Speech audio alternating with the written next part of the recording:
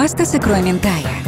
Разрежьте пополам дольки чеснока. Крупно нарежьте перец, выложите в сотейник и полейте оливковым маслом. Готовьте на медленном огне до зарумянивания чеснока. Отварите пасту в кипящей подсоленной воде.